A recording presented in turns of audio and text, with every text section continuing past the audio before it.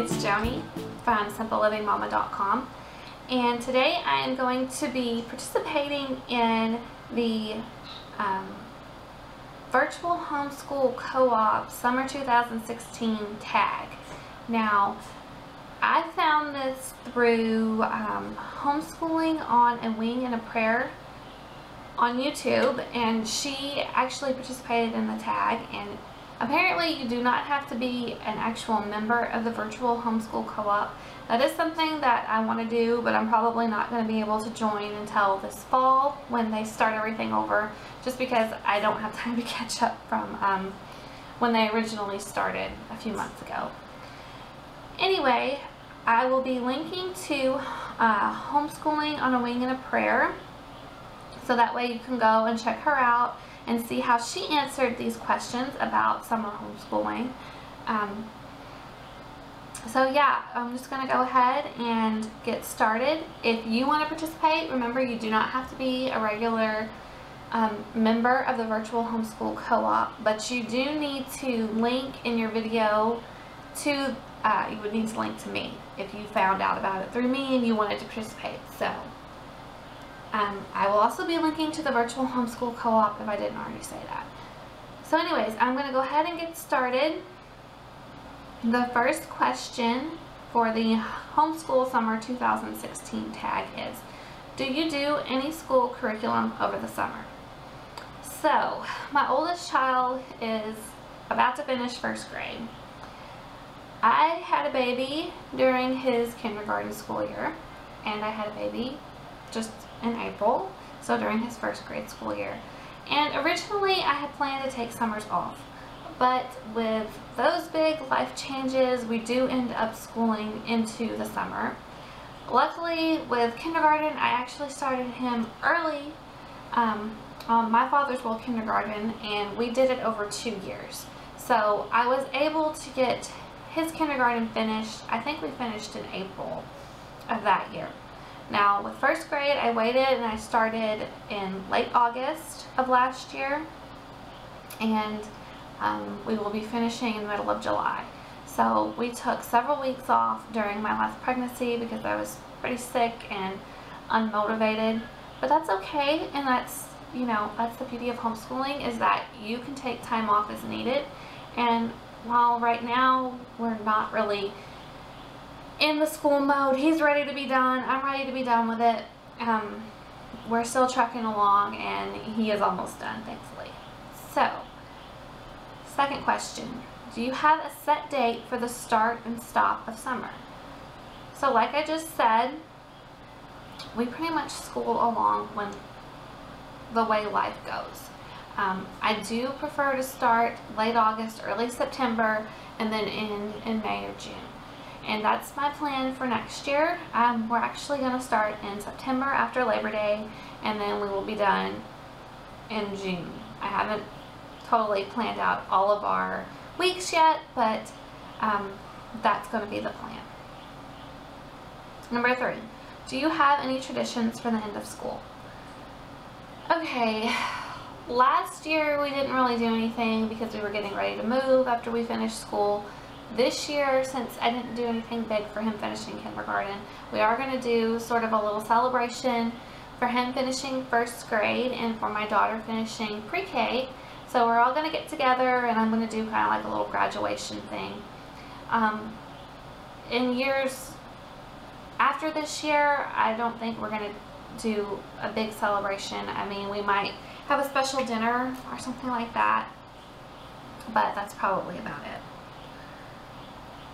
Um, number four, do you keep a schedule during the summer? Is it the same as during the school year? So right now, our schedule is the same as it was during the school year, except I, I have five kids, so um, we have a lot of interruptions, and we just sort of go with the flow. So I try to get schoolwork done sometime in mid-morning um, to mid-afternoon sometimes it doesn't work that way. You know, we just, we do what we have to do. We have appointments that we have to go to that come up. Seems like there's always something that comes up. So I don't stick to a strict schedule. Um, but we do try to get everything done in a day that we want to get done. So, number five. Are you going on vacation this summer? No, we are not going on vacation this summer. I just had a baby in April, like I said, so she's only a few months old. So we're just staying around home this summer. Number six, do you do any organized summer activities? Um, I wanted to do swimming lessons for the kids, but um, ended up deciding not to do them because it was just too much of a strain on me to be responsible for taking everybody there and then coming home with the baby, a newborn that's nursing frequently, and then I also have a one-year-old. So right now we're not doing any organized school activities or summer activities.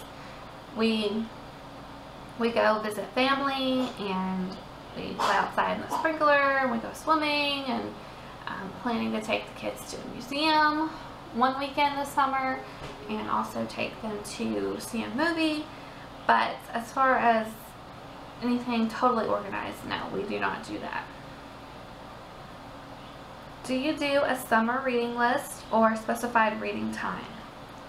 Yes. I actually did a video not too long ago on our summer read alouds. That's something that I keep up all throughout the year. Um, I usually have one chapter book going that I read to my kids. Um, my oldest is not totally an independent reader, so we're trying to get there with him. Our library has a summer reading program that we participate in, and we just go pick out books that he's interested in and that my um, five-year-old is interested in, and we sit down and we usually have reading time every day. Number eight, do you have goals for summer? Do I have goals for summer? Not really. um, just to get through the summer and I do my homeschool planning. I'm really excited to get into homeschool planning in the next couple of weeks and get ready for second grade and then my daughter's doing kindergarten and then my son who is three, almost four, is going to be doing preschool. So I'm hoping to be much more organized um, in this coming year than I have been in previous years with all the new babies that have come into our lives. So. Number nine. What is your favorite part of summer? Um, getting fresh vegetables from our family's garden. We don't have a garden here where we where we live. We have I do have like a little herb garden and my husband loves to do flowers. So we have little flower beds. we don't have like a big vegetable garden. And my kids actually help my parents plant their vegetable garden. So we've been getting some of that harvest and trying new recipes. Um, I don't really like the heat of summer, but you know, just taking time to spend with family and um, 4th of July is coming up and where we live they're going to be doing a big uh, 4th of July event so that's going to be fun. We should be able to see fireworks from our house so I'm looking forward to that. And yeah, that's about it with that. So last question. Bedtimes, do they still exist? What about letting them sleep in? Right now, my kids are staying up much later than normal. Um, but that's just because I'm usually handling the babies and then my husband is kind of just letting them stay up later. And what about letting them sleep in? I've always let my kids sleep as long as they want to sleep. But of course, they're all young, so everybody is up before 9 o'clock. Um, as they get older, that's probably going to change a little bit. But right now, I just, I let them sleep as long as they want to sleep. Okay, so that's all the questions for the um, Homeschool Summer 2016 tag. Like I said, if you want to participate, you do not have to be a member of the Virtual Homeschool Co-op but I would appreciate it if you would link to me. And you could also link to the Virtual Homeschool Co-op in the description box down below, or you can pop a card up um, if you want to participate. So we'll see you next time. Bye.